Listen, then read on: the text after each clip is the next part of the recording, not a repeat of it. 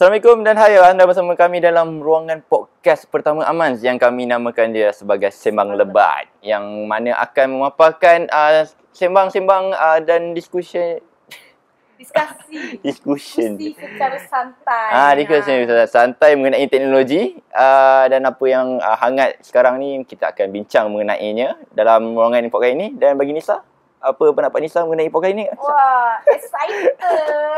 Maknanya uh, ada satu ruangan yang lebih santai untuk kita Ah, berkongsi mengenai berkongsi, teknologi dan idea. juga pendapat yang jujur dan telus dari hati. Okey, jadi kita akan uh, mulakan uh, beberapa topik hangat pada minggu ini. Ini mulakan dengan uh, iPhone 6 yang mana kita sedia maklum uh, akan dimula dijual pada 6 hari bulan November ini. Yang mana semalam uh, pihak telco telah uh, mengumumkan harga iPhone 6 yang mana akan dimula dijual dengan harga RM2,399 untuk versi 16 gig. Uh, 16 16 GB.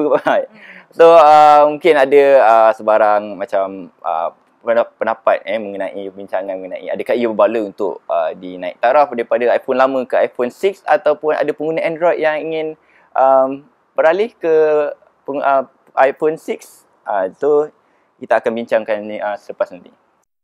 Dun dun dun. Dun dun dun dun dun dun dun dun dun dun dun dun. Dun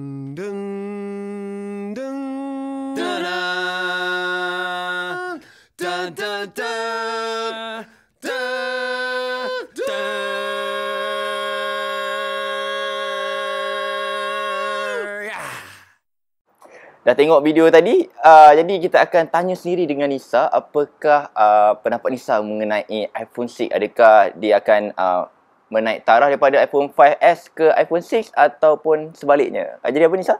Ha. Naik taraf ke tidak? Boleh? Nak?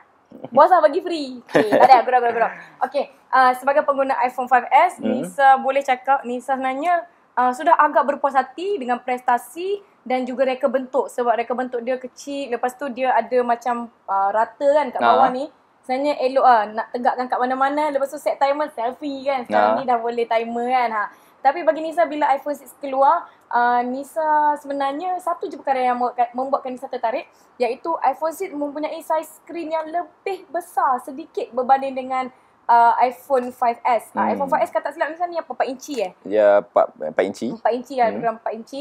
Uh, yang iPhone 5 eh, iPhone 6 ada 4.7 4.7 inci. inci. Ha. So yang besar sikit tu lah sebenarnya yang Nisa rasa macam uh, nak beli iPhone Hmm. 6. Tapi as for design Nisa jadi macam kurang suka sebab dia ada design melengkung dan Ah. menyerupai uh, telefon pintar yang lain iaitu Android yang lain. ha. Hmm, tak- sama dengan saya juga um, yang mana saya sendiri merasakan uh, rekaan bentuk uh, iPhone 6 uh, tidak begitu menarik pada tahun ni. Agak Dan, mengecewakan. Agak mengecewakan bila kami sendiri tengok uh, leak foto daripada uh, media yang mana menawarkan desain yang sama saja dengan akhir sekali uh, dan memang ia menyerupai uh, bentuk seperti telefon-telefon Android seperti uh, HTC One yang mana mempunyai antena, rekaan antena di belakangnya. Dan itu antara benda yang mengecewakan. Tapi bagi kami ada beberapa perkara positif yang kami lihat sendiri adalah dari segi uh, kemampuan prestasinya.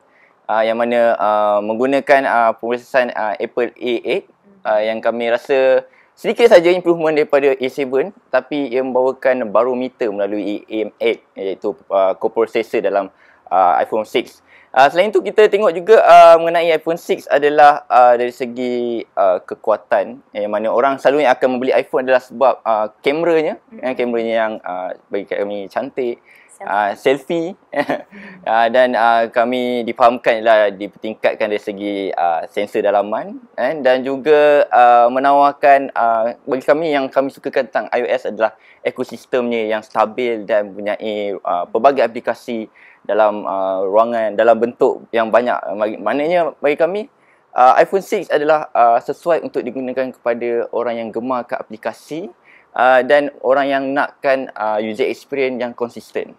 Uh, betul bagi Nisa? bagi Nisa pula sebenarnya uh, antara kekuatan iPhone tu sendiri walaupun uh, apa ada orang kata apa saingan daripada Android yang macam-macam kan sekarang ni macam-macam jenis, macam-macam bentuk, macam-macam harga, macam-macam warna. Hmm. iPhone bagi Nisa lah sebagai pengguna ha, untuk pengetahuan semua Nisa pengguna Android dan juga iOS. Hmm. Nisa rasa iOS ni dia lagi simple. Hmm. Ah dia memang direct. Apa yang ada kat situ situlah. Ha, Kiranya macam kat straightforward. Android, ha, straightforward lah. Ah. Macam Android kan dia ada widget lah, Ah, boleh buat ah. launcher terbang sana terbang sini. Tapi kita punya ah, apa iOS ni dia lagi macam Arif cakap tadi lah dia stable kan. Ha. So dia pun macam simple kan apa ada kat sini-sini lah ha, Nah. macam tu. So itu antara kekuatan Untuk, iPhone. ah, jadi untuk pengguna Android yang ingin beralih ke iOS, uh, mungkin Hmm. ada beberapa perkara yang anda perlu ingat ialah iOS tidak uh, mempunyai uh, kelebihan customasi yang uh, setaraf dengan Android sendiri. Yang mana uh, itu antara kelemahan iOS, uh, Hmm. tapi boleh diatasi sedikit dengan jailbreak uh, dan bagi kami uh, bila anda ingin beralih kepada iOS, uh, kami sarankan anda gunakan uh, secondary device uh, iaitu secondary device mungkin uh, iOS ataupun Android untuk menampakkan uh, balance antara kedua peranti. Uh, barulah anda merasakan uh, kedua sistem operasi ini mempunyai kelemahan dan uh, Kelebihan masing-masing Hmm. sendiri. Bagi Nisa sendiri, iPhone senang je nak belajar sebenarnya. Hmm. Memandangkan dia punya sistem ni adalah simple dan uh, bila bila kita dah guna kan, kita akan rasa macam agak mesra pengguna. Uh, so, Hmm. orang kata apa, ni semua atas keinginan masing-masing lah. Rasa nak tukar-tukar, tak tukar tak apa kan. Ha. So macam saya sendiri saya tengah menggunakan uh, Zenfone 5 LTE Hmm. yang mana uh, peranti uh, keluaran Asus yang menggunakan Snapdragon 400 iaitu versi yang di, uh, dipertingkatkan daripada versi Intel Atom. Uh, saya sendiri merasakan uh, peranti Android sebegini ialah uh, saya sukakan ialah dari segi customasi uh, iaitu widget uh, dan dalam masa yang sama juga saya menggunakan telefon uh, iPhone iPhone 4 uh, sebagai peranti kedua saya. Uh, yang mana saya sukakan gunakan iPhone ni adalah sebab untuk uh, editing uh, iaitu edit gambar, kamera yang mana kameranya lebih baik bagi saya. Uh, dan uh, ekosistem app dia sangat luas. Uh, dan itu yang menyebabkan saya uh, tidak mempunyai sebarang masalah uh, antara Android atau iOS yang mana pilihan yang baik adalah itu mengikut uh, pengguna sendiri. Dan, dan bagi saya ialah kedua-duanya ada kelebihan dan kekurangannya tersendiri. Sama juga Betul. macam Nisa. Ha, Ha, Nisa pun ada Note 3, ada iPhone 5S. Ada iPhone. ha, ha. Nisa juga pernah guna Ha. uh, Windows Phone tapi sekejap sangat so tak bolehlah nak bagi perbandingan kat sini. So uh, Windows Phone bagi saya pula uh, ia merupakan satu sistem operasi yang uh, stabil, uh, minimal, uh, ringkas dan cuma bagi uh, mungkin bagi kami sendirilah yang merasakan ekosistem app-nya terutama dari sokongan first party app Mhm. yang tidak begitu um, banyak uh, dan ataupun ada mungkin uh, first party app contohnya Instagram tidak mempunyai update yang cepat itu menyebabkan kami berasa uh, kekurangan di Windows Phone. Uh, tapi bagi kami kami sukakan rekaan bentuk yang minimal, uh, simple dan pantas bagi kami. Uh, tak ada masalah. Dan dari segi macam uh, interface-nya sangat uh, minimal saya suka. Ringkas. Uh, so jadi itu antara uh, pendapat kami mengenai Windows Phone dan kami adalah pengguna uh, Android dan iOS pun merasakan ke semua sistem operasi uh, termasuk BlackBerry. And BlackBerry kalau saya sendiri lihat adalah kekuatan dari segi email app dia uh, Betul. sangat sangat baik. Uh, itu sebab antara Kegemaran. Aman uh, kegemaran Aman Fidaus Ah. menggunakan sistem operasi BlackBerry. Nisa pun Ah. dulu pengguna BlackBerry tapi itu Hmm. sebelum BlackBerry mengeluarkan macam uh, yang macam sekarang ni lah ada touchscreen ke apa ingat Ah. tak dulu dulu ada touch, ada bold, ada curve. Ah time tu memang Nisa pengguna tegar BlackBerry sebab masuk email dia cepat. I mean nak balas dia everything mudah lah. Email Ah, dia sangat bagus email lah. mudah. Itu salah satu favorite dan juga of course BBM, Ah. Messenger, Messenger BlackBerry sendiri yang sangat orang kata apa efektif lah nak berhubung dengan orang kan Hmm. hmm. ha. So siapa yang ada BlackBerry tu eh Pak BBP kan BBP nah. Tapi Ingat itu ada sama zaman dah berakhir ni saya yang mana kita tengok sendiri BlackBerry uh, sekarang kalau tengok BlackBerry Messenger sendiri pun dah tak ramai yang pakai. Betul. Mungkin adalah sebab uh, mungkin BlackBerry punya Sekarang orang guna ah, WhatsApp. orang guna WhatsApp Hmm. kan. Nah, itu antara sebab kenapa BlackBerry jatuh bagi kan, bagi kami. Lagipun agak malang. uh, agak malang. so kita akan uh, bincang mengenai beberapa topik lagi iaitu uh, Motorola uh, yang telah dimiliki sepenuhnya oleh Lenovo. Lenovo. Ah, yang mana kita akan berbincang mengenai um, masa depan baru, peranti mengenai baru. peranti baru daripada Oppo. Uh, Oppo. Hmm. Nah, kita akan kupas lagi sebentar ini. Tadi kita ada sebut sikit pasal, Pasal Oppo, Oppo N3. N3, Ha. So nak ah. tanya apa ni tanyalah. Oh, Oppo R5 iaitu telefon ternipis di dunia dengan milimeter sebanyak 40.85. Ah, itu adalah telefon paling nipis di dunia setakat ni. So Nisa telah melakukan ujian band test di Singapura. Jadi mari kita lihat ah, video band test sama ada Oppo R5 ni boleh dibengkokkan ataupun tidak. Assalamualaikum dan salam sejahtera. Bersama-sama dengan pengenalan Oppo N3, pihak Oppo turut memperkenalkan telefon pintar paling nipis daripada mereka iaitu Oppo R5. Oppo R5 hadir dengan skrin bersaiz 5.2 inci dan menjadi fokus utama padanya adalah rekaan yang amat nipis dan kukuh. Menjana peranti ini adalah chip 8 teras 64-bit daripada Qualcomm dan turut menyertakan fungsi pengecasan pantas VOOC. Oppo turut mengatakan ia dilengkapi dengan teknologi penyejukan untuk memastikan peranti ini kekal sejuk dan tidak menjadi panas disebabkan penggunaan aktif. Fungsi Color OS lain turut disertakan dan ia turut menyokong rakaman gambar RAW pada kamera belakang 13 megapiksel. Peranti ini dijangka akan memasuki pasaran tempatan sekitar November atau Disember ini. Ah, korang dah tengok kan video sebenarnya Nisa telah pergi ke Singapura bersama bos Cik Aman. Ha, ke uh, ke Singapura untuk pelancaran peranti baru uh, Oppo, iaitu Oppo, ah. Oppo N3 dan juga R5. R5. Tadi kita cakap pasal N3, sekarang cakap pasal R5. Hmm. Ternyata R5 kukuh telefonnya setelah try dibengkokkan. Ha, cuba dibengkokkan oleh uh, Aman. Hmm. So, Nisa rakam masa tu and uh, Yelah, Nisa rasa sekarang ni semua pun kena ada band, band test lah. Takut kan masuk-masuk phone, masuk-masuk dalam bag, dalam poket semua duduk-duduk tengok kan bengkok melengkung. Tak pasal-pasal tercipta lah telefon melengkung kan. Ha. Sebab Oppo claim uh, bahawasanya telefon R5 walaupun dia Hmm. antara peranti yang ternipis setakat ni di dunia uh, tapi dia diperbuat daripada stainless steel aluminium uh, logam logam yang kukuh dan juga tahan lasak. Uh, so ternyatalah setelah kami test untuk bengkokkan dia dia punya besi tu memang kukuh lah alhamdulillah. Uh, kalau bengkok kat situ tak tahu lah apa jadi kan. Ah, Uh. so jadi pendapat Nisa mengenai telefon nipis ni sebenarnya bagi kelebihan ataupun kekurangan bagi Nisa sendiri. Hmm, kelebihan Hmm. uh, macam kita perempuan lah daripada aspek perempuan. Kelebihannya Hmm. senang nak selit dalam beg, senang nak selit dalam purse kan kalau nak pergi mana-mana. Telefon nipis memang tak dinafikan mudah dibawa. Hmm. Tetapi bila nipis sangat pun uh, takut uh, kalau bahan dia tu macam jenis yang mudah licin, Ah, ah, tak slippery licin. kat tangan. Kan tiba-tiba tengah-tengah tengok pam jatuh kan. Sebab Nisa pernah kena handphone macam tu dan Hmm. juga uh, kalau selit-selit kat beg mudah hilang, tak nampak. Ha, tapi nipis ni kelebihan dia, dia ringan, dia mudah bawa dan Hmm. dia juga ni sedap dipegang lah berbanding dengan peranti yang tebal-tebal tu kan. Ha, macam serupa angkut telefon rumah kan, jalan-jalan kan. Ha.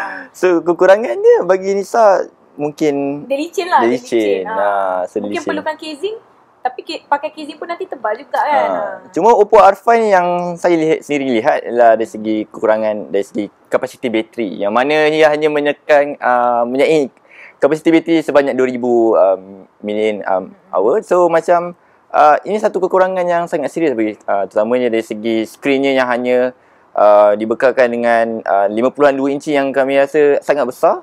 Ta- tapi baterinya agak kecil dan ini menyebabkan uh, prestasi uh, terutamanya dari segi um, ketahanan baterinya dalam masa sehari tidak begitu lama. Jadi ini bagi saya uh, satu kekurangan yang uh, agak serius dan saya pun sendiri tak pasti mengapa pengeluar berlumba-lumba untuk um, membuat satu reka bentuk telefon nipis kan dan uh, ini perlu dia ketingkatkan lah. lagi. Uh, contohnya kita mungkin boleh tengok uh, Sony sendiri uh, melalui Z series eh, telefon Z series yang mana mereka ada dengan telefon yang uh, bagi kami agak nipis tapi masih mengekalkan tahanan bateri yang agak lama yang mana Sony mengatakan mereka punyai uh, uh, ujian yang mana mengatakan telefon Z series uh, terutamanya Z3 dan Z3 compact mampu bertahan sehingga 2 hari lamanya. So Oh. ini satu bagi kami uh, Dua sa- hari, eh? hari agak lama. Hmm. Uh, okay. Maknanya Nisa rasa kan dalam penggunaan Android ke Hmm. iOS ke masalah ada bateri je. Ha. Kadang-kadang kita rasa macam tak larat nak bawa power bank yang tebal-tebal, Ah. yang berat-berat dalam handbag kan. Itu memang menambah beban je lah. So, kita memang menanti-nantikan telefon dengan prestasi bateri yang yang tahan lama. Mungkin Ah. yang Oppo tadi tu dia buat skrin besar. So, bila skrin besar kita banyak guna power kan. So, Hmm. bateri tak tahan lama. Tapi dia overcome pula dengan pengecasan sistem pengecasan ah, pantas, iaitu VOOC. VOOC. Ah. Ha. So itu satu kelebihan bagi eh, Oppo mm-hmm. yang mana mereka mempunyai satu reka bentuk NIPS tapi hadir dengan uh, pengecasan pantas VOC yang mana membolehkan peranti uh, mencapai sehingga 75% dalam masa 30 minit saja Hmm, Nisa. So 30 minit je. So, cepat kalau- sangat. Ah. Drive tu cocok dekat uh, pengecas tu kan. Ha. Charger tu bawa dalam 30 minit dah dapat dan 75 which is mungkin boleh guna lagi lama lah. Ah, so ini Tapi still kita nak something yang tahan lama lah bateri kan. Ah, tahan lama bateri. Tu antara Dan bagi saya satu lagi kekurangan uh, adalah uh, peranti yang nipis ni adalah dari segi uh, earphone jack. Uh, yang mana pihak Oppo telah menggantikan earphone jack tersebut kepada micro USB. Uh, yang mana kita telah kembali ke era uh, zaman Nokia, zaman Sony Ericsson yang mana mereka mempunyai, uh, adapter untuk sambung uh, earphone 3.5 mm jack tu. So ini antara ke kelemahan Mm-mm. kan, kelemahan telefon nipis dan apakah perasaan Nisa ataupun uh, jangkaan Nisa untuk trend yang akan datang? Adakah telefon makin nipis Hmm. ataupun pengeluarkan stay untuk berinovasi? Okay, bagi dengan- Nisa lah, bila dia gantikan yang tempat audio jack tu kan macam agak menyusahkan sebab tak semua orang yang suka pasang tu pasang ni. Ah. And as for Oppo N3 pula, Hmm. dia punya audio jack tu bahagian tepi. Ah. So bila kita nak masuk dalam poket kan, nanti bila kita macam nak guna apa hands free ke earphone kan, bila nak masuk dalam poket tu tak dapat masuk sepenuhnya sebab Hmm. uh, yang oh, kini bukan Oppo kan. dia punya audio jack tu bahagian tepi. Faham tak? Faham tak kan? Ha. So itu merupakan satu kelemahan sebenarnya bagi Nisa se- sebab biasanya telefon pintar audio jack dia berada di bahagian atas atau bahagian bawah. So kalau di bahagian atas kita boleh masukkan telefon pintar dalam poket atau dalam beg dari bawah. Kalau daripada bahagian bawah kita terbalikkan je lah kan. Ha. Tapi Hmm. ni kat tepi so macam sebenarnya Nisa rasa macam kenapa perlu kat tepi? Mungkin sebab uh, rekaan Oppo N3 untuk Oppo N3 dia ada motor untuk uh, auto putar punya Ah. kamera tu kan. Ha. So mungkin dia gantikan audio jack tu di bahagian Pada tepi. Ah, jadi itu antara uh, topik mengenai Oppo yang mana Hmm. kita dah bincang mengenai Oppo N3 dan Oppo Hmm. R5 dan sepatutnya kita akan bincang mengenai Motorola yang mana telah dimiliki oleh Lenovo sepenuhnya. Jadi jangan ke mana-mana kembali selepas Hmm. Tunggu, ini. tunggu kejap. Pada arena teknologi tempatan, pihak Suruhanjaya Syarikat Malaysia telah memberi amaran kepada penjual atas talian iaitu denda sehingga RM5,000 jika nama dan nombor pendaftaran syarikat gagal dipaparkan dalam urusan jual beli. Ha, cakap pula pasal dunia perniagaan online. Sangat-sangat orang kata apa? Meriah. Ha, kat mana-mana je mesti ada visit my IG. Ha. Arif beli online tak? Eh, selalu sangat. Ha, Nah, selalu saya beli kat Lelong, saya beli dekat IP Mart. Mhm. Ah, itu tempat-tempat biasa saya lah. Ah, tapi Kalau macam Instagram atau Instagram- penjual yang dekat Facebook? Instagram, Facebook saya tak saya tak beli sangat saya beli sangat itu. Kenapa? Sebab saya macam uh, tengok uh, mereka lebih banyak uh, terutama kepercayaan lah Hmm. kan dan saya tengok sendiri kat Twitter, kat Facebook ramai yang post screenshot uh, uh, laman IG yang sering menipu. So Hmm. sebab itulah saya selalu tak beli dekat Instagram sebab Hmm. kepercayaan. Sebabkan uh, kes-kes macam ni lah, kes penipuan. Hmm. Kita sebagai pe- pembeli pun nak percaya ke tak kan? Uh, pihak syari- Suruhanjaya Syarikat Malaysia SSM mengeluarkan amaran denda sehingga RM5,000. RM5,000 kepada peniaga online yang tak paparkan nama dan nombor pendaftaran syarikat Hmm. di Instagram atau Facebook, Hmm. di laman web. Ha, so pendapat pendapat Ah lepas kalau bila dah SSM buat buka rasa macam ni so bila kita tengok ada nama dengan nombor syarikat sendiri so Mhm. kita lebih yakin sebagai pembeli. So Mhm. saya sebagai pembeli pun tengok Hmm. Uh, kalau ada uh, detail-detail seperti ini yang buatkan uh, saya lebih yakin sebab kita boleh ambil detail ni untuk uh, rujukan. rujukan kalau Hmm, sekiranya uh, laman IG ni pernah menipu ke Hmm. ataupun dah tutup kedai ke secara tiba-tiba uh, so kita boleh gunakan nombor ni uh, untuk Betul. buat rujukan akan datang. Hmm, Okay? Jadi bagi saya baguslah Ya. tindakan ni. Bagi Nisa Ah. sendiri sebagai peniaga, ha, Nisa ada perniagaan uh, baju wanita. Hmm. Nisa rasa memang perlu pun kita daftar sebab kita nak buktikan kepada customer, Hmm. kepada pelanggan kita ni adalah uh, online shop yang benar-benar wujud dan tidak menipu dan kita berdaftar di bawah SSM. So kalau kita nak menipu pun, orang boleh check kita punya macam tadi nombor pendaftaran Ah, boleh nombor check pendaftaran. kan. Diorang boleh siasat kita ni siapa, kita ni base kat mana. So Hmm. benda tu sebenarnya untuk uh, mendapatkan kepercayaan dan keyakinan pembeli sebab yelah kita berniaga nak cari makan kan. Hmm. Ha. So tak tak susah pun nak daftar, boleh daftar kat uh, macam UTC. Ah, ETC dekat Ah, Cash Central. Cash Central. Ah, Mana-mana tempat sekarang Ah, ni. mana-mana tempat. Mudah lah. Selalu nak- jawab, nak ah, daftar. selalu nak daftar Ah. SSM tu berapa ringgit Nisa selalu kena. tak mahal pun, Ah. tak sampai RM100 pun. Tak so, sampai satu ringgit. bagi mereka yang benar-benar nak memulakan perniagaan, Ah, dari sekarang pergi daftar terus. So bila dah ada nama, dah ada nombor pendaftar perniagaan, Hmm. orang tengok pun walaupun uh, contohlah satu-satu online shop tu baru, dia akan lagi yakin lah nak beli kan walaupun Hmm. uh, customer belum ramai, Hmm. barang belum banyak. Uh. Itu bag- penting tu. Hmm, bagi kami itulah keyakinan uh, untuk membeli adalah dia Hmm. letak apabila dia letak sendiri dia punya Hmm. detail kan. Ha, itu apabila Sam buat macam ni so kita tengok lepas ni mungkin ramai peniaga akan mula uh, Mengambil berat mengambil lah. berat Hmm, uh, isu secara, ni kan. secara serius so dari samping boleh menarik lagi ramai pelanggan untuk membeli dengan mereka. Betul. Ha, jadi lepas ni kita akan berbincang mengenai Lenovo. Cakap siapa ni? Motorola pada minggu ini telah menjadi milik penuh Lenovo setelah melalui pelbagai proses pengesahan daripada pihak berkuasa sebelum ini. Pengambil alihan yang bernilai 2.91 bilion ini menjadikan Motorola beroperasi sebagai sebuah syarikat subsidiari Lenovo di samping akan terus memfokuskan kepada platform Android bebas daripada sebarang tema serta kemaskini pantas kepada pengguna. Okey dan uh, pada sebelum kita menutup uh, sembang lebat ini kita akan bincang mengenai Lenovo uh, yang mana telah mengambil alih secara sepenuhnya uh, company Motorola. Yang mana kami melihat uh, itu satu pengambil alihan yang uh, agak baik. Yang terutamanya Motorola yang uh, Dah kurang uh, popular sekarang ni. mungkin lepas Lenovo ambil alih lagi popular Mm-mm. kan. Sebelum ni kita tengok juga kalau lepas Google ambil alih Motorola naik kembali kan dengan uh, menyediakan uh, satu telefon dengan pilihan uh, vanilla Android kami katakan iaitu telefon tanpa uh, ataupun kurang customasi daripada pengeluar. Dan ini yang menyebabkan Motorola boleh uh, naik semula selepas uh, pengambilan oleh Google dan mungkin selepas ini kita tengok Lenovo uh, akan membawa lagi Motorola kepada satu tahap yang lebih tinggi ataupun mungkin boleh uh, menjadi sebuah brand yang lebih kukuh lagi selepas ini. Jadi bagi pendapat Nisa yang uh, mungkin ada pernah sejarah dengan menggunakan peranti Motorola. Jadi Oi. ada cerita mengenainya. Ada. Ha. Motorola ni dulu popular sangat masa zaman Ha. Nisa sekolah menengah. Ha, Hmm. tak adalah, tak adalah lama sangat tempoh tu tapi Ha. a few years back it was so popular macam hampir semua orang pakai Motorola. Ada Motorola yang nipis tu, ada yang kecil, Ha. ada yang lipat tu kan. Ha, memang glamour lah dulu. Ha. Ada L6, L7, L7. berlumba-lumba kawan-kawan siapa Hmm. yang pakai paling latest lah masa tu. Ha. And masa tu Nisa pakai Motorola L7 uh, Masa tu dapat pula yang limited edition L7 Hmm. uh, Peranti tu color merah tau. Uh, So telefon berwarna ni jarang tau dulu So bila dapat color merah tu Dia semua orang macam pandang Tak payah pakai kisi macam wow kan ha. Ingat lagi Yang limited edition tu dulu Duta ada David Beckham ha. So macam Oh. bangga sikit lah kan. Uh, so zaman tu pun memang popular. Hmm. Uh, itu telefon V3i tak salah saya Betul. V3 Max dengan Hmm. 3G time tu.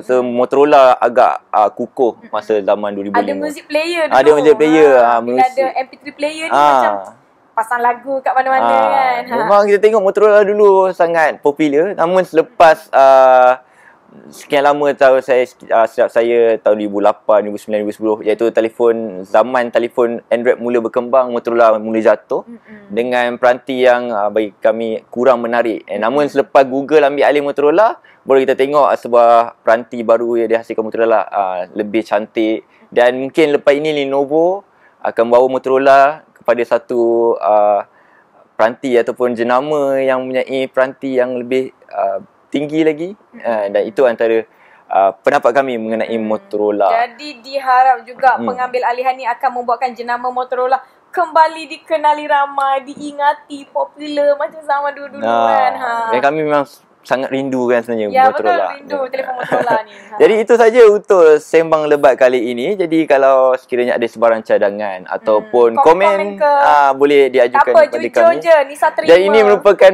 uh, sembang lebat yang pertama di Amal Luqman. Jadi kami memerlukan anda untuk komen cadangan. ah, Cadangan membina Atau- apa yang patut kami pertingkatkan, Hmm. apa yang Arif patut pertingkatkan, Apa yang Nisa patut pertingkatkan. Ah, adakah Nisa perlu lebih banyak Yosh lepas ni? Ha.